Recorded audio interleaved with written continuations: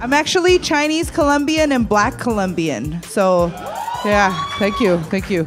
So, I got my cheekbones from my mom, my lips from my dad, and my boobs from my ex husband.